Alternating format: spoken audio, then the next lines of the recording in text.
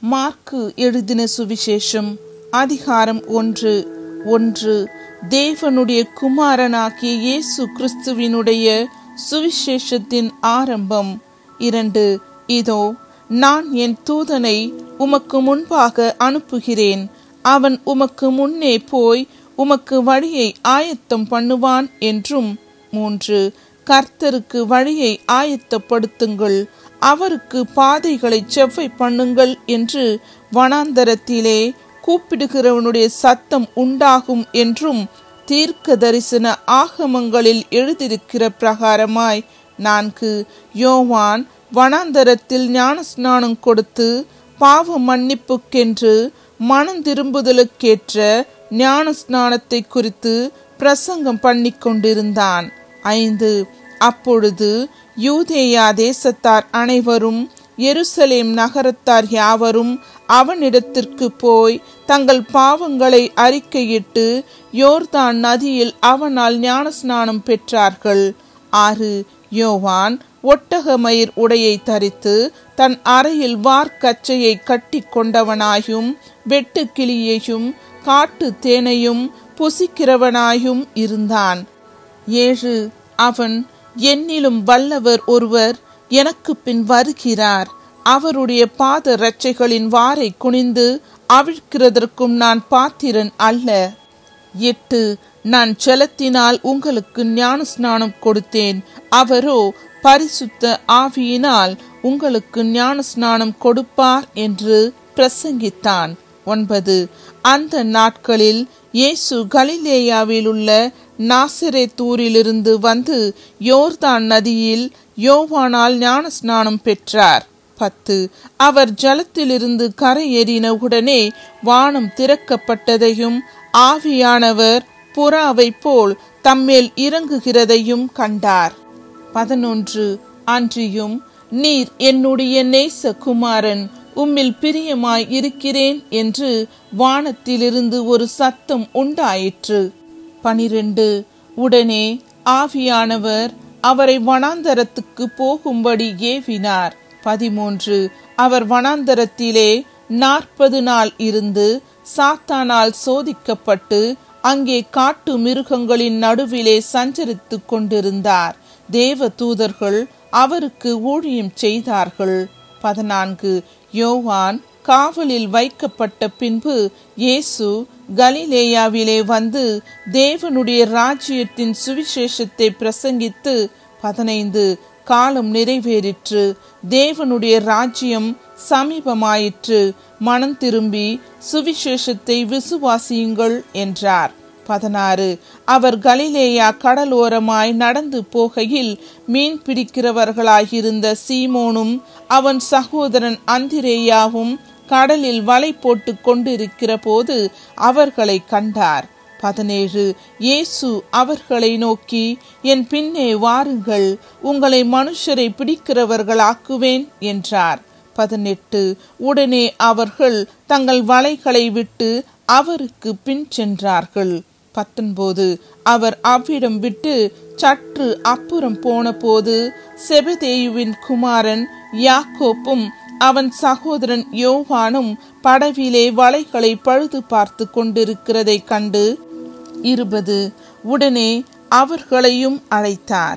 அப்பொழுது அவர்கள் தங்கள் தகப்பனாகிய செபதேயுவை கூலியாட்களோடு படவிலே விட்டு அவருக்கு பின் சென்றார்கள். இருபத்தி ஒன்று. பின்பு கப்பர் நகுமுக்கு போனார்கள்.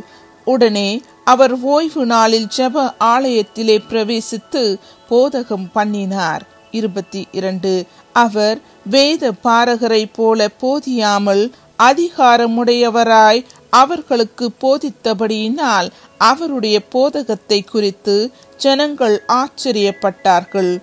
இருபத்தி மூன்று. அவர்களுடைய ஜெப ஆலயத்திலே அசுத்த ஆவி உள்ள ஒரு மனுஷன் இருந்தான். இருபத்தி நான்கு. அவன் ஐயரே நசரேனாகிய இயேசுவே எங்களுக்கும் உமக்கும் என்ன? எங்களை கெடுக்கவா வந்தீர்? உம்மை இன்னார் என்று அறிவேன். நீர் தேவனுடைய பரிசுத்தர் என்று சத்தமிட்டான். இருபத்தி ஐந்து. அதற்கு இயேசு நீ பேசாமல் இவனை விட்டு புறப்பட்டு போ என்று அதை அதட்டினார். இருபத்தி ஆறு. உடனே அந்த அசுத்த ஆவி அவனை அலை கழித்து மிகுந்த சத்தமிட்டு அவனை விட்டு போய்விட்டது. இருபத்தி ஏழு எல்லாரும் ஆச்சரியப்பட்டு இது என்ன? இந்த புதிய உபதேசம் எப்படிப்பட்டது? இவர் அதிகாரத்தோடே அசுத்த ஆவிகளுக்கும் கட்டளையிடுகிறார். அவைகள் இவருக்கு கீழ்ப்படுகிறதே என்று தங்களுக்குள்ளே ஒருவரோடொருவர் சொல்லிக் கொண்டார்கள். இருபத்தி எட்டு அது முதல் அவருடைய கீர்த்தி கலிலேயா நாடெங்கும் பிரசித்தமாயிற்று. இருபத்தி ஒன்பது. உடனே அவர்கள் ஜப ஆலயத்தை விட்டு புறப்பட்டு யாக்கோப்போடும் யோவானோடும் கூட சீமோன் அந்திரேயா என்பவர்களுடைய வீட்டில் பிரவேசித்தார்கள். முப்பது. அங்கே சீமோனுடைய மாமி ஜுரமாய் கிடந்தாள். உடனே அவர்கள் அவளை குறித்து அவருக்கு சொன்னார்கள். முப்பத்தி ஒன்று. அவர் கிட்ட போய் அவள் கையை பிடித்து அவளை தூக்கி விட்டார் உடனே ஜுரம் அவளை விட்டு நீங்கிற்று. அப்பொழுது அவள் அவர்களுக்கு பணிவிடை செய்தாள். முப்பத்தி இரண்டு சாயங்காலமாகி சூரியன் அஸ்தமித்த போது சகல பிணியாளிகளையும் பிசாசு பிடித்தவர்களையும் அவரிடத்தில் கொண்டு வந்தார்கள். முப்பத்தி மூன்று பட்டணத்தார் எல்லாரும் வீட்டு வாசலுக்கு முன்பாக கூடி வந்தார்கள். முப்பத்தி நான்கு பலவிதமான வியாதிகளினால் உபத்திரவப்பட்டிருந்த அநேகரை அவர் சொஸ்தமாக்கி அநேகம் பிசாசுகளையும் துரத்திவிட்டார்.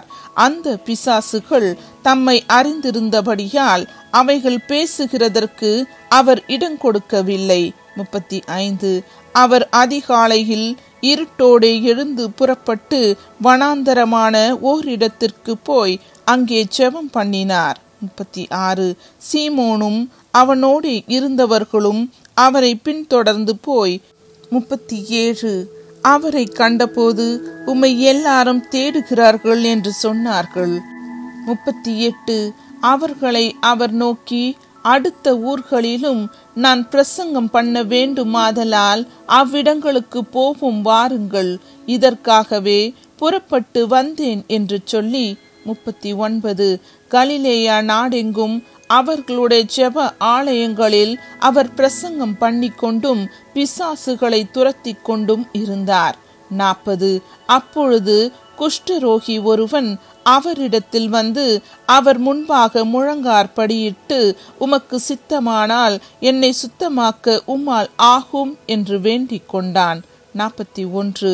இயேசு மனதுருகி கையை நீட்டி அவனை தொட்டு எனக்கு சித்தம் உண்டு சுத்தமாகு என்றார்.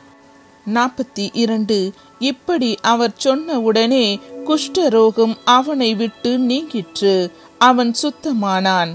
நாற்பத்தி மூன்று. அப்பொழுது அவர் அவனை நோக்கி நீ இதை ஒருவருக்கும் சொல்லாதபடிக்கு எச்சரிக்கையாகிரு நாற்பத்தி நான்கு ஆயினும் நீ போய் ஆசாரியனுக்கு உன்னை காண்பித்து நீ சுத்தமானது நிமித்தம் மோசே கட்டளையிட்டிருக்கிறவைகளை அவர்களுக்கு சாட்சியாக செலுத்து என்று கண்டிப்பாய் சொல்லி உடனே அவனை அனுப்பிவிட்டார். நாற்பத்தி ஐந்து அவனோ புறப்பட்டு போய் இந்த சங்கதி எங்கும் விளங்கும்படியாக பிரசித்தம் பண்ணத் தொடங்கினான். அதனால் அவர் வெளியரங்கமாய் பட்டணத்தில் பிரவேசிக்க கூடாமல் வெளியே வனாந்தரமான இடங்களில் தங்கியிருந்தார். எத்திசையிலும் இருந்து ஜனங்கள் அவரிடத்திற்கு வந்தார்கள்.